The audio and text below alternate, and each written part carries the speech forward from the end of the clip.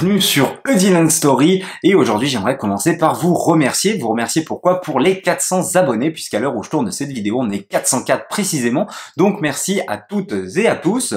Et pour vous remercier j'ai décidé de ne pas tourner en vidéo euh, le bilan d'achat du mois d'avril mais de le faire en live le samedi 14 mai. Donc venez nombreux, hein, ça sera l'après-midi, je n'ai pas encore l'heure mais l'heure sera bientôt affichée sur la chaîne quand je mettrai le live en attente.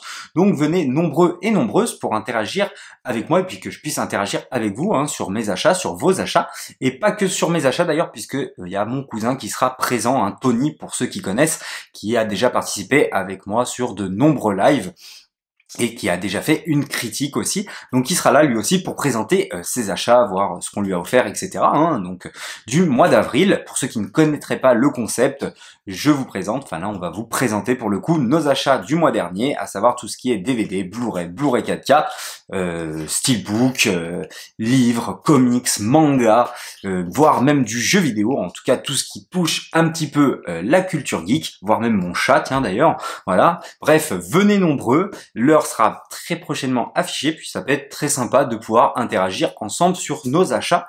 Donc voilà, Ensuite, bah, je vais tout simplement passer à la critique de The Northman, l'homme du Nord, hein, un film de viking très badass, mais aussi très mystique, à ma plus grande surprise, même si on pouvait s'y attendre par son réalisateur qui est Robert Eggers, qui est un, un, réalisateur qui commence vraiment à me plaire et je trouve à monter en puissance. Le film est sorti le 11 mai au cinéma, et je vous le dis avant de rentrer dans le vif du sujet, il faut aller le voir parce que c'est vraiment de bonne qualité. Comme d'habitude, avant ça, n'hésitez pas à liker, à partager et à vous abonner, je vous en remercie. C'est parti, de quoi va parler euh, The Northman? On va suivre le prince Hamlet qui est pratiquement à l'âge adulte et qui va voir devant lui se faire assassiner son père, hein, euh, par d'ailleurs le frère de son père, qui va tout simplement le décapiter devant lui pour prendre sa place de roi et qui va aussi par la même occasion euh, enlever sa mère, la kidnapper.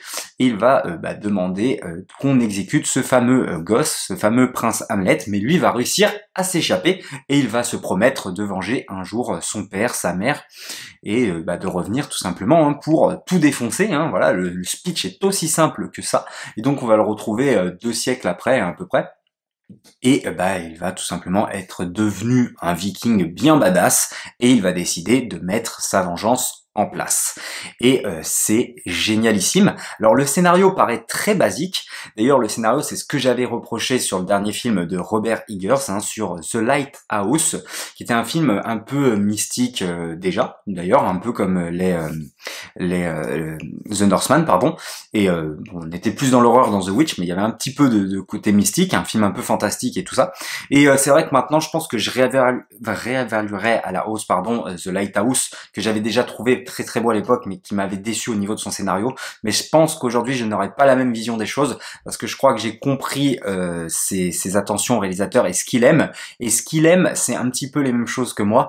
Et euh, là, ce que j'adore dans ce film, c'est qu'il arrive très bien à représenter la barbarie des Vikings. Franchement, c'est très très bien foutu à l'écran. Enfin, en tout cas, ce qu'ils étaient, moi, c'était la représentation de ce que je m'en faisais et euh, bah voilà moi j'ai été conquis par ce qu'il me montre à l'écran et d'un autre côté, j'ai été très surpris puisque je n'avais pas vu la bande-annonce, qu'ils nous mettent ce côté mystique, ce côté Dieu, hein, euh, où il va y avoir un côté, bah, déjà par sa musique, hein, qui est très euh, très voilà, on est très dans le spirituel, tout ça, enfin, et, et, des moments très euh, voilà, la musique bien euh, avec des tambours et tout ça qui va bien accompagner justement la barbarie des Vikings, mais aussi des moments euh, très voilà, très mystiques, très spirituels.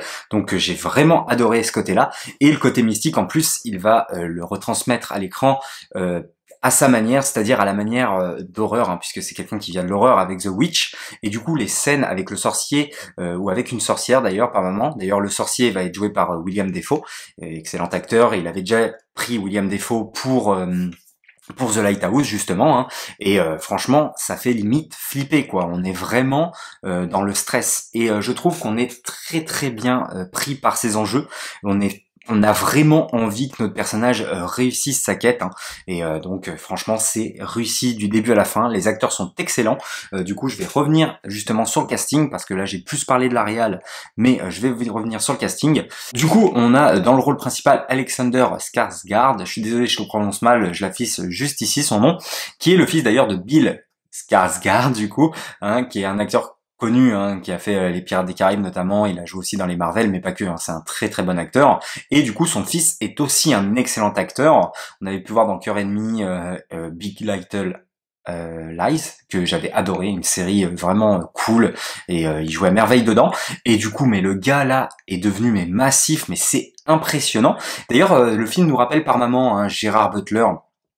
dans le rôle de, de, de Léonidas, hein, qui était vraiment badass, et là ça nous le rappelle aussi. Hein, voilà, il y a, de la testostérone, il y a de la chaleur, enfin voilà, hein, c'est vraiment c'est tous des montagnes de muscles. D'ailleurs, il y a la montagne de Game of Thrones dans le film, c'est assez sympa.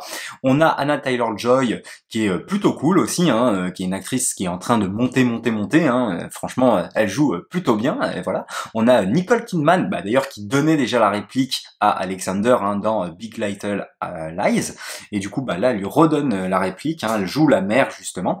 Et donc voilà, il y a, un très très bon casting, je trouve. Il y a aussi Ethan Hawke. Enfin voilà, il y a, un casting vraiment excellent. Et je trouve bah, le film très très efficace. Euh, franchement, 2h12 très très bien investi. Je trouve que voilà, on en a pour notre argent. Euh, c'est badass. Par moments, ça prend son temps, ça met bien en place les enjeux, les personnages. On est très très vite attaché bah, par le début euh, du film, hein, par ce personnage, par sa quête de vengeance, on est aussi euh, bah, subjugué par ce qu'on voit à l'écran, parce que les Vikings ont certaines traditions. Je ne va pas hésiter à mettre à l'écran euh, Robert Eggers, hein, voilà, ils ont certaines traditions qui peuvent peut-être tourner au ridicule, voilà, peut-être un peu faire rire, mais c'est ce qu'étaient les Vikings, donc je trouve ça vraiment intéressant. Mais surtout, ce que j'ai adoré, c'est vraiment le côté mystique, quoi. Il, y va à fond, et, et voilà, quoi. C'est c'est c'est une, une quête de vengeance, mais il y a une autre quête, quoi. Pour pouvoir faire cette quête de vengeance, il va devoir accomplir certaines euh, choses, notre notre notre héros. Donc euh, franchement, c'est un vrai kiff. Et euh, voilà, il y a, y a, de vraies réflexions derrière le film sur ce qu'étaient les Vikings aussi, hein, parce que les Vikings c'est pas forcément des gens bien. Hein, ils nous montrent la barbarie des Vikings et franchement, c'est très très bien retranscrit à l'écran. et bah, je vous invite vraiment à aller voir le film. La photographie est exceptionnelle. Bon, ça m'étonne pas. Hein, déjà, ces, ces autres films c'était déjà de très très haute qualité. La musique est très très bonne. Les décors, mais c'est d'une beauté absolue. Enfin, il y a des endroits mais choisis, euh, notamment pour la fin, mais je ne spoilerai pas. Mais là, il y a un vrai jeu. Enfin, pour moi, il y a un vrai jeu de lumière et tout ça. Enfin, sur l'endroit choisi pour pour finir le film, c'est génial, quoi. Franchement, bravo. Pour moi, il y a tout qui est réussi euh, du début à la fin. Et c'est pour ça que je vais mettre 4,5 à ce film. Et d'ailleurs, il y, y a un truc en ce moment, c'est euh, les I'm Vengeance, quoi. Entre The Batman et ce film, qui sont tous les deux, pour moi, pratiquement des chefs-d'œuvre hein, que j'ai envie de revoir avec impatience. Euh, bah, voilà. Bah, ils disent tous I'm Vengeance, donc euh, à voir pour le prochain film, hein, mais euh, voilà. En tout cas, c'était vraiment génial. Je vous invite à aller voir ce film. Tout simplement, j'ai pas plus de choses à dire. Hein. Quand un film est réussi à ce point-là, bah voilà, hein, moi j'ai pas grand-chose de plus à rajouter, à part bah, d'aller le voir. Venez encore une fois samedi 14 mai euh, voir sur ma chaîne le live sur le bilan d'achat. N'hésitez pas à liker, à partager, à commenter évidemment, me dire ce que vous avez pensé sur ce film. Et puis nous on se dit comme d'habitude à la prochaine pour une prochaine histoire.